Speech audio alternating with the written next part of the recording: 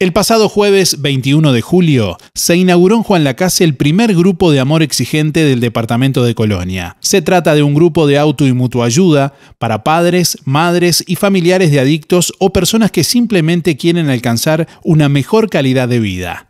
Es un programa que hace más de 40 años que funciona en Brasil, 22 años en Uruguay. Eh, funciona en reuniones semanales de dos horas por, de dos horas por reunión. Eh, hay en casi todo el país. Este, por suerte felicito a Colonia que abre su primer grupo. Este programa de calidad de vida basa su trabajo en el entrenamiento de 12 principios básicos y 12 principios éticos. Un aspecto en el que se hace principal hincapié es hablar sin prejuicios ni ocultamientos de la problemática para poder trabajar en una solución real. Absolutamente fundamental. Mientras más ocultemos lo que nos está pasando, eh, más insano más insana va a ser la vida que estamos viviendo. Y no estamos ayudando a nadie. No estamos ayudando a familiar que tiene problemas ni nos estamos ayudando a nosotros mismos. El nombre nuestro, eh, Amor Exigente, eh, viene porque nosotros consideramos amor eh, que es hacer lo necesario para el bien del otro. No lo miramos desde el punto de vista afectivo.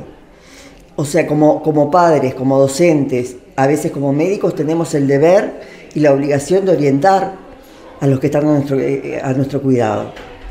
Y no tiene nada que ver con el cariño. No hay acto más grande de amor que hacer lo necesario para el bien del otro. Y cuando nos tocan temas difíciles, lo necesario puede ser muy eh, antipático. Cuando un hijo se quiebra un hueso, nosotros no vamos a, a, intentar dentablillarlo nosotros, lo vamos a llevar al traumatólogo. Y le va a doler. Le va a doler que le acomoden el hueso, le va a doler que lo yesen y va a tener que estar de quietud durante un tiempo. Todo tiene su proceso. Es fundamental que se hable, fundamental que se, que se comunique. Lo peor que podemos hacer para nosotros, para nuestra familia y para la persona que tiene la enfermedad es tratar de ocultarlo. Con una concurrencia sostenida a estos grupos se logran resultados positivos. Se pueden alcanzar metas muy importantes una que parece rara pero que es así, que es salvar la propia vida, que está en peligro frente a estas situaciones. Em, realizar tareas de prevención para que esto no ocurra en el futuro, aquellos familiares que tienen hijos menores de edad, que se están educando, que a veces este, somos muy dadores, flexibles, em, dispuestos a consentir y a proteger, a veces la protección la sobreprotección se convierte en desprotección. Aprendemos a poner límites, a decir que no, a decir yo te quiero pero no estoy de acuerdo con lo que estás haciendo. Que la persona crezca y para que la persona crezca tiene que poder respirar, tiene que poder vivir. Entonces a veces nosotros somos sobreprotectores y no dejamos vivir al otro. Entonces aquí hay un cambio de la familia en su conjunto. Esto es un grupo de auto y mutuo cuidado.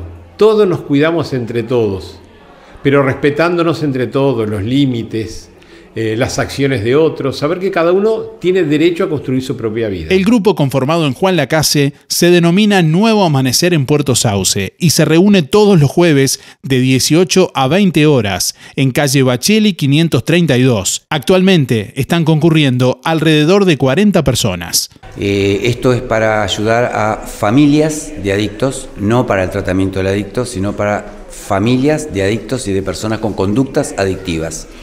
Hablando, cuando hablamos de adicción siempre pensamos en la droga, pero la adicción eh, puede ser a sustancias, como es el caso del alcohol y las drogas, o puede ser a conductas adictivas como la ludopatía, por ejemplo, el juego, eh, conductas adictivas eh, al sexo, a las compras, a la pantalla, que es la conducta más adictiva que tenemos en este momento.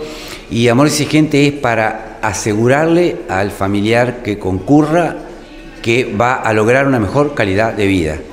Va a estar preparado para cuando su familiar problema está en carrera, como decimos nosotros, se está consumiendo, y mucho más preparado todavía tiene que estar para cuando ese familiar problema decide por sí y para sí este, dejar esa adicción o tratar de, de llevar adelante su vida sin esa adicción y ahí la familia tiene que estar preparada para contener y para acompañar. Y eso es lo que hace Amor Exigente.